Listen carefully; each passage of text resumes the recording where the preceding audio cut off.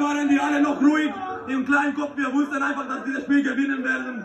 Und äh, ist einfach unwahrscheinlich, auszusteigen nach so ein, äh, so einer Halbzeit. Also ich finde, wir, gar, wir waren gar nicht so schlecht in der ersten Halbzeit. Wir haben einfach unsere Chancen nicht genutzt. Aber nach Halbzeit hat, hat, es gelohnt.